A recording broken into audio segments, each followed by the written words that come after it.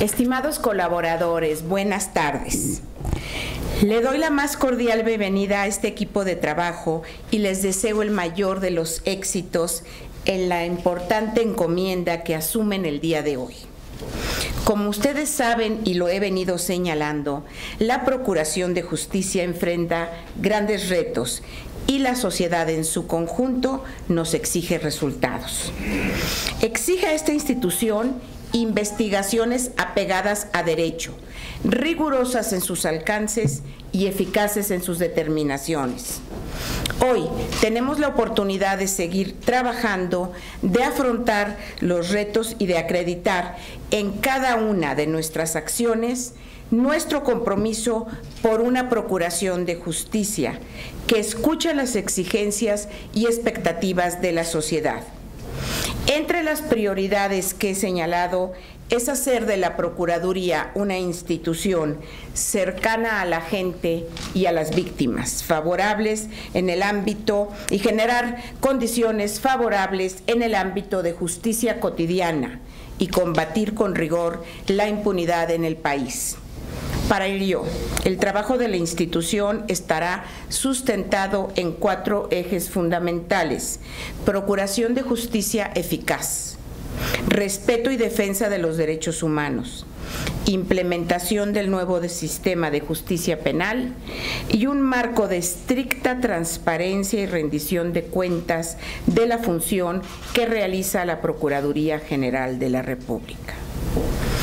Encargado al subprocurador jurídico y de asuntos internacionales, maestro José Alberto Rodríguez Calderón, mantener una estrecha coordinación con el Poder Legislativo Federal en el análisis y la opinión técnica de los diversos proyectos de leyes, como aquellos que forman parte de la creación y armonización legislativa en materia de procuración de justicia al licenciado Rommel Moreno Manjarres, titular de la Unidad para la Implementación del Sistema Procesal Penal Acusatorio, he instruido a su vez que en coordinación con el Poder Judicial de la Federación y el órgano implementador federal se intensifiquen las acciones tendentes a la operación plena y al cumplimiento de los objetivos del nuevo sistema de justicia penal.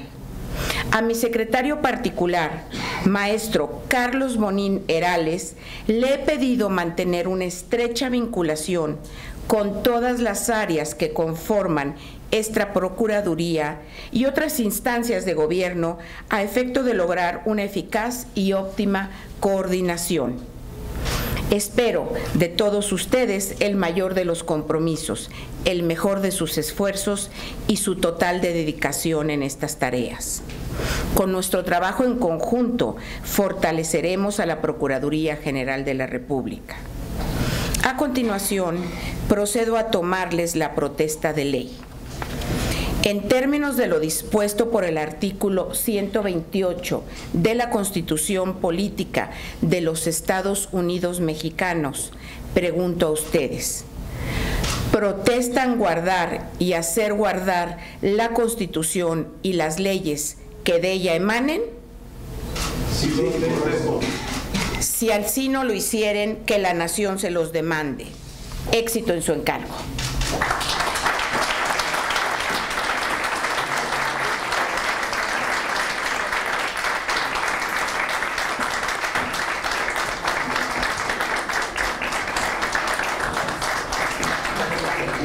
Procuraduría General de la República.